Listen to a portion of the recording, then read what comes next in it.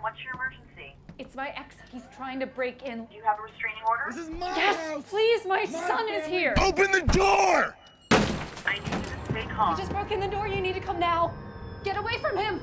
Hey, hey. Put him down. Get away. Get out of here. I'm taking him!